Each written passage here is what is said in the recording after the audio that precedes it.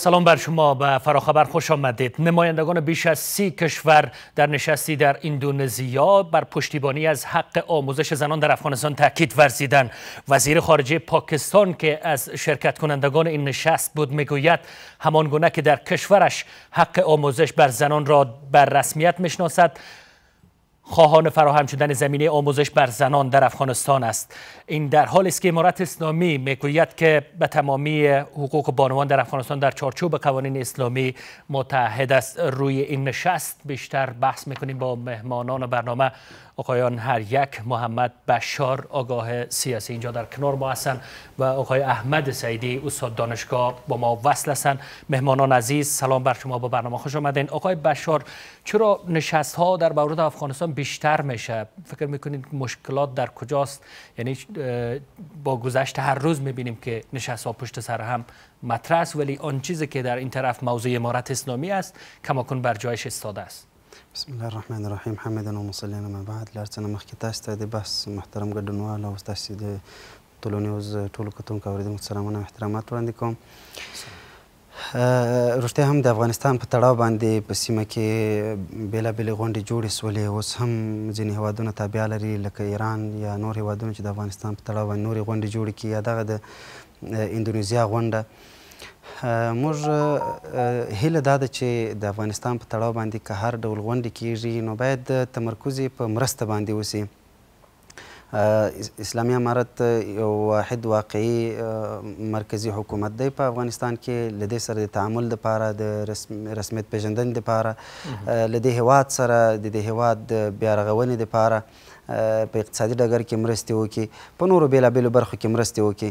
متاسفانه چې دا څومره غونډې د افغانستان په تړاو باندې په سیمه کې جوړېږي یا د نړۍ په نورو لویو سازمانونو کې د افغانستان په تړاو باندې بحث کیږي محض شرایط وړاندې کیږي انتقادونه کیږي او د هغه انتقادونه چې یا واقعیت نه لري له حقیقت او واقعیت څخه لري خبرې وي او د دې پر ځای چې خپل مسولیت ادا کړي مرستې ورسره وکړي کومک ورسره وکړي او دغه بحران چې راغلی دی سیاسي انزوا د اقتصادي ډګر کې کومې ستونزې دي د دغه مخه ونیسي افغانستان د بیا رغولو دپاره په صحیح معنا باندې کومکونه ورسره وکړي. له دې نه تېرېږي او محض انتقادونه کوي او یا داسې شرایط وړاندې کوي چې هغه هیڅ وخت د یو هیواد د رسمیت دپاره مطرح نه دي دا باید له دوی نه پوښتنه وسي چې د دوی اصلا هدف څه دی؟ هدف د افغانستان سره کوم بیا کوم سیاسی لوبه ده؟ تحلیل می‌کنیم به چه نتیجه می‌رسیم یعنی کشورها چرا پشت سر هم بحث حقوق بشر بحث حقوق زنان حق آموزش هم مطرح می‌کنن؟ در حالی که امارات اسلامی میگه که از گذشته بهتر تامین شده.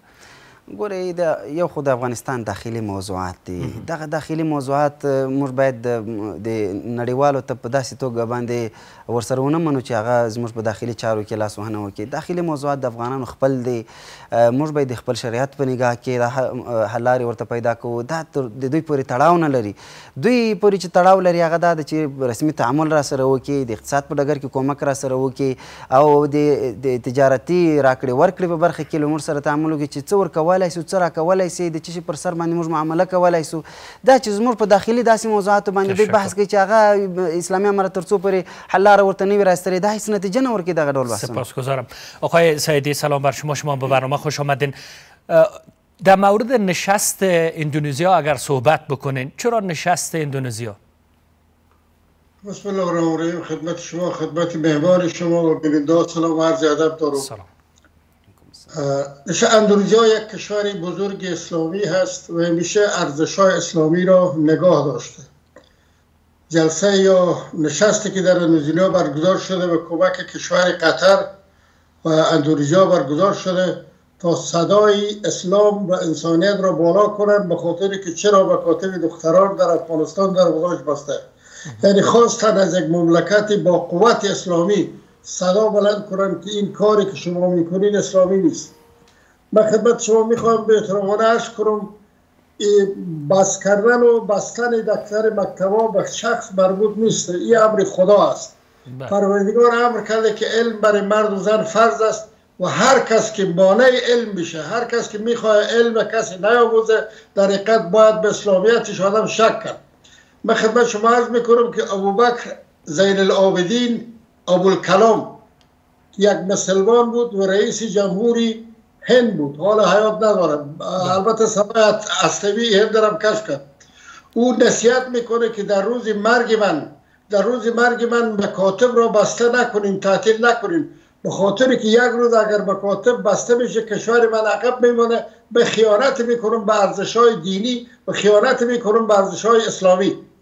همچنین یکی از صدر اعظم های انگلیس چرچل می‌گوید که اگر ملتی را مردمی را می‌خوای عقب نگاه داری بهترین راهی است که زنها را خانه نشین کنی دروازه مکاتب بسته کنی خود به خود اون مردم عقب می‌روند. بنابراین من فکر می‌کنم که این سیاست سیاستی به خاطر عقب گرویی است نه به خاطر رشد و ارزش های اسلامی. هیچ وقت مکتب دخترها بچه ها یک جا نبوده ما همیشه بودیم در افغانستان همیشه مکاتبشان تنها بوده. وقتی که در پوهنتون در دانشگاه می‌تونه دختر و پسر دست بخونه از سن شش به بالا نمی‌تونه. من فکر می‌کنم که اکثریتی اعضای طالبان به این کار روزی هستند که دروازه مکاتب باز شده. چند حلقه معدودی است که کمر بسته هستند به خاطر ویرانی افغانستان. آقای سیدی خب اینجا امارت اسلامی مثلا آقای بشار در صحبتهایش گفت بحث مداخله را مطرح می‌کنن بحث منافع کشورها را مطرح می‌کنن که در این نشست ها که در بیرون برگزار میشه دنبال میشه. چیزی که امارت اسلامی بارها گفته که چون این چیزی را اجازه نمیتیم ولی خب اگر دو تا روایت نگاه بکنیم در همین مدت امارت اسلامی میگه که حقوق بشر در افغانستان بهتر از گذشته تأمین شده. اما کشورها که نشست برگزار می‌کنن در اعلامیش همی است که حقوق بشر در افغانستان تأمین نشده. چرا به این نقطه رسیده کار؟ ببینین اول من صحبت های آقای بشار شنیدم که میگه مسئله داخلی افغانستان است. اگر این مسئله داخلی است خیر چرا از دنیا کمک می‌خواین. خب مسئله داخلی شماست مردم خدا نان بتین او بتین خدمتشان رو بکنین معاش بتین. همه چیز مسئله داخلی شما است ما چرا از کشورهای دیگه توقع کمک داریم که هفته 40 میلیون دلار به ما روان کنیم؟ یک. دوم دوم علم اینا مسئله داخلی نگوین گناهکار بشن. به خاطر که آیت شریف است حدیث شریف است که علم جهانی است. شما دیدین که میگه طلب علم تا به چین برو بیاموز. علم منحصر به یک کشور نیست منحصر به فرد نیست. علم طلب العلم که وقتی میگیم بر مرد و زن طلب العلم که بر میگیم بر کفر و مسلمان طلب العلم که بر میگیم این سر دنیا. بنابراین اگر اینا میگن که مکتب بسته کردن باز کردن مسئله داخلی است اشتباه می‌کنن اشتباه قرآنی می‌کنن اشتباه دینی می‌کنن اشتباه اسلامی می‌کنن رو می‌خوایم که گپ بگیرم بسیار زیاد تشکر. آقای بشار چیزی که بسیار بحث برانگیز شده بحث مکاتب است باز بسته ماندنش چند روز پیش آقای عباسی ستانکزی معین سیاسی وزارت خارجه هم بار دیگه تاکید کرد که این موضوع باید حل شود هر چه زودتر. بیشتر هم در همین نشست ها روی همین موضوع تاکید میشه. شما این موضوع را موضوع حالا بیرونی ها می‌دانین یا موضوع داخلی که باید حل می‌شد؟ احمد سیدی جناب سیدی صاحب زما په خبرو باندې سم پوه نو ما عمومي موضوعات د افغانستان په تړاو باندې د خبره وکړه چې مداخله ونیسي. که مشخص راځو د نجونو د تعلیم موضوع ته زه د نجونو د تعلیم د موضوع په اړه درې خبرې کوم. یو دا چې د نجونو د تعلیم موضوع په حقیقي معنا د افغانستان داخلي موضوع ده موږ مسؤلیت لرو چې باید دا موضوع حل کړو. دا موضوع د دې کچې نه ده چې نړیوالې د رسمیت پېژندنې دپاره د شرط راته وړاندې کړي که موضوع حل شوه په رسمیت پیژنې که حل نه شوه په رسمیت ونه پیژنې دا دا داسې موضوع نه ده چې نړیوالو ته په خارجي مسایلو کې مطرح وي. دا زموږ داخلي موضوع ده. دویم دا چې تعلیم د نر او د ښځو دپاره د وطن د ټولو اقشارو لپاره د په دې برخه کې زمینه سازي کول د شریعت په چوکاټ کې ورته حل لاره راوستل دا د علماو مسؤلیت ده د افغانستان داخلي علما باید د شریعت په چوکاټ کې لکه څنګه چې د بهرنیو چارو وزارت سرپرست سیاسي معین مرستیال شیر محمد عباس ستانکزي صاحب دا خبره کړې ده موږ تایید کوو چې باید د شریعت په رڼا کې د شریعت په چوکاټ کې دې ته حل لاره راوویستل سي.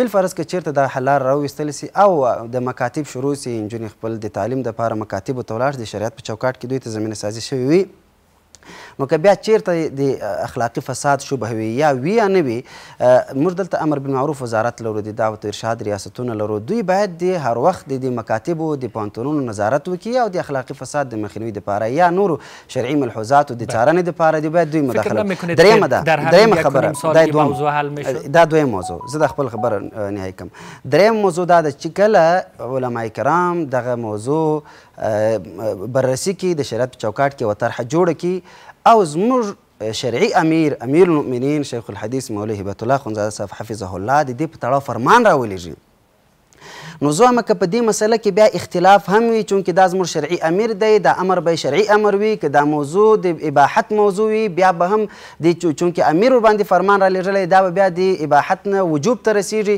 بیا به ټول علما اطاعت کوي هیڅوک په دې کې اختلاف نه کوي چې دا اوس د شرعي حکم څنګه دی او څنګه نه دی. نو زه دغه درې واړې خبرې د افغانستان داخلي موضوع ده علما مسؤل دي چې حل لارو ته راوباسي د اخلاقي فساد د مخنیوي دپاره موږ ارګانونه لرو وزارت لرو د امر بالمعروف هغه د مخنیوي کوي. او علما د پر دې کې هیڅ کله بحث نه کوي بیا چې دا اوس څنګه دی او څنګه نه دی. د امیر المؤمنین شیخ الحدیث شیخ عبد الله خنزا صاحب حفظه الله د امر اطاعت دی کوي. هیڅ کله بیا په دې کې څوک بحث نه کوي. دا زما د دریز دی. زه په وضاحت سره مخکې مې هم ویل دی بیا هم وایم. خو دا موضوع بیا هم وایم چې د دې کچې نه ده چې موږ نړیوال د رسمیت لپاره امارات اسلامی خواستهایی داره. میخواد به رسمیت شناخته شود تحریم ها برداشته شود همونطور که در گزارش امشب بود می‌خواهند در بخش اقتصادی و سیاسی با امارات اسلامی همکاری شود ولی دنیا از خود امروز نظم داره حداقل سازمان ملل در اونجا کشورها شامل هستند حقوق بین الملل داریم حقوق حالا روابط بین الدول داریم کشورها با هم دیگر رابطه دارن. همین کشورها صدا بلند می‌کنه. مثلا نمونهش پاکستان که وزیر خارجیش در همین نشست اندونزیا میگه که امانگونه که در کشورش حق آموزش بر زنان را به رسمیت می‌شناسد. خواهان فراهم شدن زمینی آموزش بر زنان در افغانستان نیز است. ګوره که پاکستان دی او که هر هېواد دی چې د افغانستان په تړاو په دغه داخلي موضوعاتو کې څرګندونې کوي ولې له دې نه مخکې اولویتونو نه پېژني اولویت دا ده چې په داخلي موضوعاتو کې لاسوهنه وکړي او که اولویت دا ده چې د دې نظام سره تعامل وکړي او په رسمیت یې وپېژني که یوار یو نظام ته رسمي جهت په توګه نه منې حاکم نه بولې مسؤول نه منې مکلف نه بولې نو بیا څنګه د داخلي موضوعاتو د د حل لپاره غوښتنه ځینې کوي نو اول خو ته رسمي جهت په توګه دا ومنه رسمي تعامل ورسره وکړه په اقتصادي ډګر کې که ستونزې لري هغې اقتصادي ستونزې ورسره حل کړه په سیاسي تعامل ورسره وکړه ډیپلوماټیک اړیکې ورسره ورغوه. چې یو وارې ته هغه ته مسؤلیت ورکړې مکلفیت ورکړې رسمي جهت په توګه ومنې بیا ورنه داخلي موضوعاتو کې ته یو مشوره ورکولی شي چې دغه دغه ستاسو ستونزې د ستاسې په ګټه د بیا مشوره ورکړه د مسلمان هېواد د اسلامي ورور په توګه. اگر کوتاهتر بگوییم پس دنیا مشکل داره با شما یعنی با امارت موږ په داخل کې هم ستونزې لرو خو هغه موږ مکلف موږ به حل کوو. زایم دوی هم مکلفیتونه لري. دوی چې راځي زموږ په داخلي موضوعاتو کې مداخله کوي ولې دغه نه مخکې موږ سره رسمي تعامل نه کوي؟ خپل مسئولیتونه نه درک کوي؟ بسیار زیاد تشکر. آقای سعیدی صحبت های آقای بشار شنیدین. خب همین موضوعات به تکرار مطرح میشه. مثلا میگن که از خاک افغانستان تهدید نمیشه ولی کشورها میگن ما نگران هستیم ما آماده همکاری هستیم. مثلا چین در تمام مورد حکومت فراگیر موضوع حقوق بشر زنها حق آموزش. همین موضوعات به تکرار مطرح میشه. فکر می‌کنید در کدام نقطه استاده است افغانستان؟ یعنی دنیا چی می‌خواد بکنه بعد از و افغانستان چی باید بکنه؟ من فکر می‌کنم که اگر ما وجدانا به حکم عزت و شرف و اسلامیت خود تحلیل و تجزیه کنیم حقایق بسیار روشن میشه. اول جناب آقای بشار گفتن که امر امیر المومنین واجب است. مشروط بر این که همه مردم یک کشور به امیر المومنین بیعت کرده باشند. این را از نگاه اسلام و دین میگم. کیها بیعت کرده در کجا چه کاره بودند یک. دوم امر امیر المومنین برای مردم واجب است. عمل شوه وقتی عمل شوه که امرش مطابق قرآن و شریعت بوده باشد خدا قرآن حدیث آیت درس و تعلیم اجازه داده.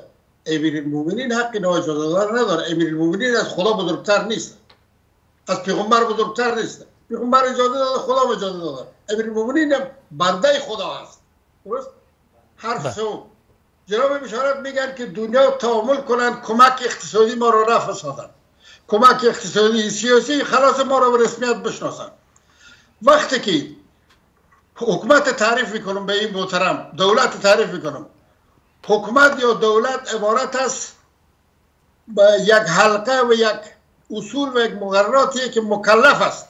مشکلات مردم خود رفع کنه اقتصاد به سر پای استاد کنه تعاملات ملی به ملی برقرار کنه امنیت سرتاسری بسازه.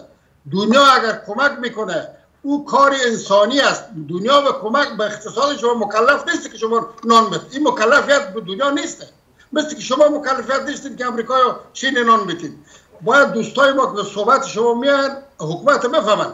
حکومت افغانستان هر کس که امروز به قدرت مسئول تمام چیزای خدا گفته که مسئول است. پیغمبر گفته مسئول است. بندای. اما کشورها اگر افغانستان از نگاه اقتصادی کمک می‌کنن از نگاه پولی کمک می‌کنن از نگاه وسایل کمک می‌کنن او کمک اخلاقیه. فرق به اونا نیست. ما حکم کرده نمی‌تونیم پاکستان مشکلات ما رو حل کنه. امریکا مشکلات ما حل کنه. چند فروخته به امریکا بخ نمی‌کنه او اختیار خود داره من به خانه به شما رو نمیتون بنابراین من امیدوار هستم شما تا بس کنیم که حکومت مسئولیت سعادت آسایش یک ملت است. حکومتی که دو زن رو رهبری داره اما کشورهای دیگه از نگاه انسانی از نگاه اخلاقی از نگاه اسلامی یا غیر اسلامی کمک می‌کنه خانه شما. ما باید برف بام خود به سر دیگه کس نندازیم. بله. آقای سعیدی آینده همین بگو را چگونه می‌بینین؟ مثلا چه تغییراتی در راه است؟ من یک چیزی که طرفدار نیستم بسیار مرا رنج میته امیدوار هستم که جناب آقای بشار عرض مرا بسیار احترامانه بشنوند. بعضی وقتا طالبان در صحبت ها میگه که مکاتب به خاطر فهاشی تومت نکنین به مردم افغانستان. مردم افغانستان مردم بسیار با ناموس و با شرفی هستند. مردم با عزتی هستند. کلمه فحاشی را که به کار می‌برین بسیار بداخلاقی است. ایران میگم. مردم افغانستان همیشه مردم مسلمان با ناموسی بوده است. اما وقتی که دخترای بزرگتری در پوانتون می‌تونه درس بخونه اونا به بداخلاقخانه نمیره با سنف شش به بداخلاقخانه میره. ایچی معنا داره ایچی ایچی منطقی وجود داره. من با تکرار می‌کنم گپ یک چیز میگم که آینده چی است؟ آینده است که روز بروز نمی حکومت منزوی میشه. روز به روز دنیا رو رسمیت نمی‌شناسه. روز به روز مردم فقیرتر بشه ناتوانتر بشه. چی قدر لذت داره که مردم افغانستان صاحب نانشن صاحب عزتشن صاحب حرمتشن؟ چهار نفر مردم افغانستان گروگان نگیره. به خاطر اعلا شاید من فکر می‌کنم همین که مکاتب بستم کنن دستور دینی نباشه دستور بیگانه باشه به خاطر ویرانی افغانستان. تشکر آقای بشار شما چی میگین به ادامه صحبت های آقای سعیدی جناب سعیدی صاحب یو درې خبرو په اړه زه لنډه تبصره کوم یو خدای وایي چې د امیر صاحب امیر المؤمنین صاحب حفظه الله سره بیعت چیرته شوی دی او څنګه بیعت شوی دی ګوره امیر المؤمنین یو شرعي امیر دی باید د مسلمان په توګه ته ډیر احترام ورته ولري. او دغه په اړه داسې نامناسبې سپکې څرګندونې ونه کړې.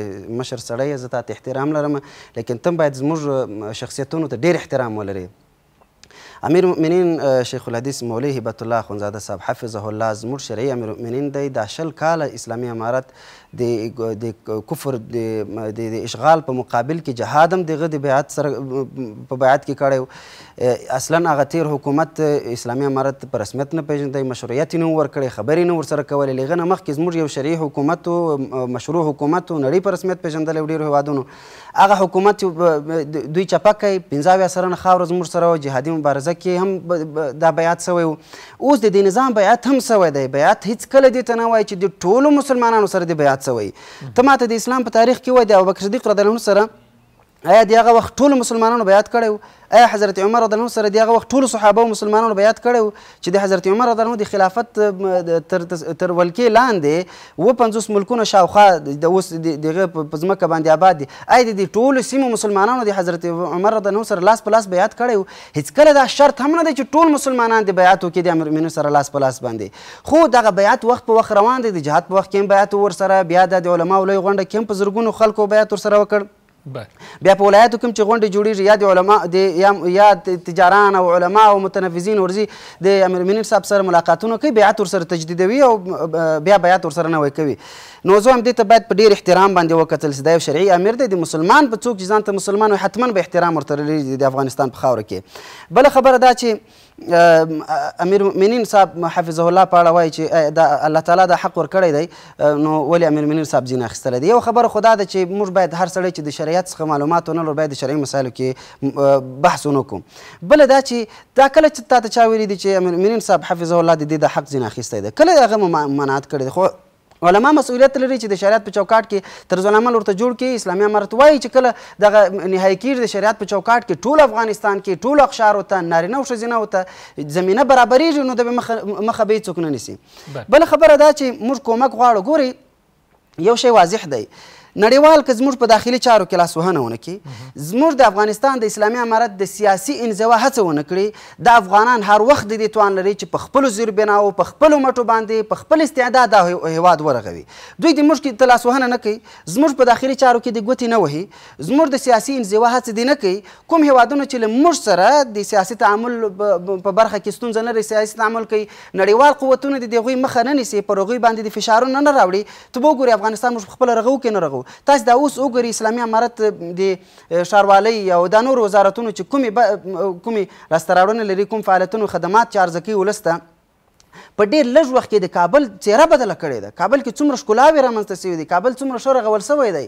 سړکونه پراخه سول آزاد سول خلکو ته په لارو کې د تګ راتګ کې مزاحمت نسته د وطن د ټولو شمال شرق جنوب او او شرق او غرب ټولو ته د لوی د مواصلاتو لوی لارې رغول کیږي په غرونو کې سړکونه آبادیږي دغه لوی لاسته راوړنې موږ په خپلو لاسته راوړنو لرو په خپلو عواید لرو. آقای سعیدی هم اگر میگه حکومت به این زوا بره همین گونه ادامه پیدا بکنه مردم از این وضعیت رنج می‌برن. مردم خب نان می‌خواین ضرورت دارن.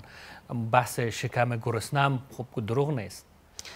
ما درته ویل ګوره اسلامي امارت دغه اقتصادي ضعف چې راغلی دی دا د اسلامي امارت له نه دی د تیر حکومت د افغانستان د په زیربناو باندې کوم کار کړی و؟ د معادن د استخراج برخه کې کوم کار کړی خو بس په تیار باندې ناس په چوکۍ باندې په تیار د امریکا روپی ورته راتلی په موږ باندې خپل مزید چرچې کولې. ولسته کوم خدمات ارزه کړیو ته ماته یو کار وشه یو کار زه چیلنج ورکوم ټول خلکو ته. چې تیر حکومت جوړ کړی وي د یو فابریکه وي چې تیر حکومت جوړ کړی وي او ولسته یو یو سل پنځه سوه نفرو ته عواید راځي ور باندې یو یو د اقتصاد یو معیشت یو ذریعه وي او د اسلامي امارت پر راتلو سره هغه له منځه تللی یو شی خو راوښی اسلامي امارت به درته ورشم د قوشتېپې کانال باندې چې کوم کار شروع دی په زرګونو خلک هلته مصروف دي او نورو اقتصادي زیربناو باندې کار روان کړی دی. دغه لاسته راوړنې ولې د دوی نه پټې دي. زه وایم کار کېږي خو په یو نیم کال خو ډېر کم وخت دی. اسلامي امارت د مسؤول او د حاکم نظام په توګه باندې مکلف دی چې خپل ټول ولس ته د اقتصاد په برخه کې د د د معیشت په برخه کې خدمت وکړي مسؤول دی مکلف دی. دا زه تاییدومه ولې داسې هم نه دی چې موږ په یو نیم کال کې ملامت کو چې خلک غریبان دي ولا لوږه د وطن د دا ټول مسؤلیت پر دوی باندې دی. خو نړۍ هم له موږ سره تعامل نه کوي نړۍ هم زموږ د پیسې راته کنګل کړي دي. نو نړۍ که زموږ دغه بودیجه کنګل نه کړي کومک وکړي سیاسي انزوا هڅونه کړي موږ خپل هیواد رغو. سپاسگزارم. آقای سعیدی جنبندی شما را می‌گیریم. خب دو طرف یکدیگر را ملامت می‌کنند چه باید بکنن دنیا و امارت اسلام. ببینین طالبان باید بی نظر باشن که افغانستان خانه مشترک تمام افغان هاست بله. از کسی که طالب بوده یا نبوده. کسی که به جمهوریت بوده و حکومت دیگه بوده. این خانه مشترک را بدون همکاری هم افغان ها هیچ کس آباد کرده نمی‌تونه. دو ما باید تو نباشیم که بعضی چیزها رو مثال گفتم به حکومت اشرف این حکومت نگویه که من حال چیزی ندارم خودی می‌کنم. به حکومت اشرف ماهانه ماهانه سی میلیون دلار می‌داد امریکا یا به حکومت طالبا هفته 40 میلیون دلار می‌داد. دیگه چیکار شده بیشتر پول چی است؟ مثلا طالبان می‌تونن به دبی به امارات با استخبارات امریکا در تعامل باشن. می‌تونن با, با تاویس ملاقات کنن. روابط با کشورهای خارجی دارن. یک تعداد دفاتر سفارتخانه در کابل باز هست. ولی دنیا به خاطر رسمیت شناختن تعامل داره. تعامل چی است؟ ارزش های انسانی و اسلامی باید مد نظر گرفته شه. محاکم سرایی نباشه. قتلای زنجیری نباشه. هر چیز مطابق شریعت اسلام مطابق ارزش های انسانی مطابق کانوانسیون های بین المللی مراد شد. هر اگر طالبا به یقیده باشند که ما را دنیا به رسمیت می‌شناسه با این شیوه نه با این شیوه نه. ولی هر قدر که به رسمیت شناختن از اینا به تعبیر بیفته به اون اندازه مردم افغانستان پریشان میشن گرسنگی زیاد میشه و بدبختی زیاد میشه. رنجش مردم افغانستان می‌کشن خرابیش دیگه کس می‌کنه. بسیار تشکر. 20 ثانیه آقای بشار حرف آخر. امغه زما پیشنهادونه د درې برخې چې داخلي موضوع ده علما باید خپل مسؤلیت ادا کړي او د المؤمنین شیخ صاحب حفظه الله اطاعت باید وسي او په دې مسله کې باید علما هم اختلاف ونه کړي او د ولس حق حقوق د شریعت په چوکاټ کې باید ټول ته بسیار زیاد تشکر از حضورتان مهمانان گرامی آقای بشار آقای سعیدی سپاسگزارم. به همین ترتیب می‌رسیم به پایان فراخبر. از شما بینندگان عزیز هم سپاسگزارم. شب بخیر.